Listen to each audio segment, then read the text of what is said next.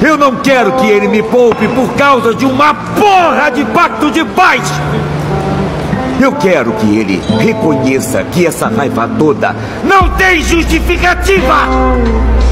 Eu quero que ele reconheça que quem vive pela espada morre pela espada, Tommy! E daí que eles levaram seu filho, hein? Pegaram seu filho? Que limite é esse que você acha que eu passei?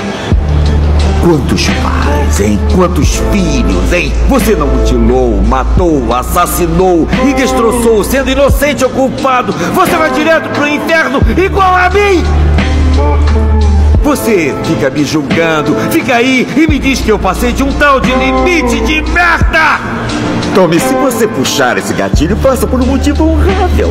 Como um homem de honra, Tome! E não como um civil de merda que não entende que o mundo é podre, meu amigo.